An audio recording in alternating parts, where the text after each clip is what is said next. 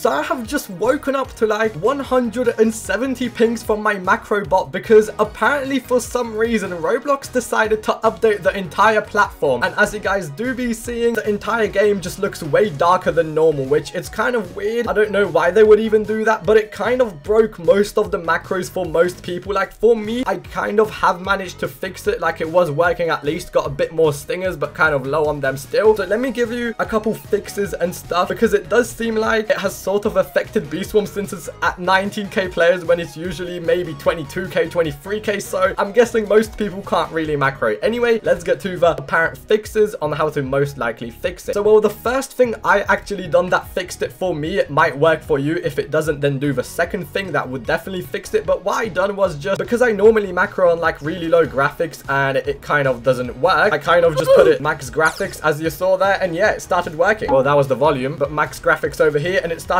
working for me. But that might not work for you, which is why over here, the Natro macro team said this, fix infinite reset caused by lighting engine change. So yeah, that is the new Roblox update, as I said, but they did actually publish a brand new version of Natro that should work, and they did say as well to quickly transfer your old information to the new installation, do the following, copy your entire settings folder from your old Natro to the new one, replace the new file, and stuff like that. So you can read this as well, I will put it in the description, but also it will apparently be flagged as a virus, and do not worry, this is not a virus. I can confirm I have tried it myself too. You are not going to get a virus if you have, because if it was a virus, I probably would be on like a new PC by now. So yeah, trust me, it is definitely not one. And they did also say over here, this file is a version of Natro Macro that has been edited to fix the new lighting issues. Besides that, it is identical. If you require help with anything, then you know you can just ping them over here. And as well, quickly, because of this, it does actually trigger nighttime every single time is what I have been experiencing over the last time as I have just checked over my entire macro and well, yeah, it has just been going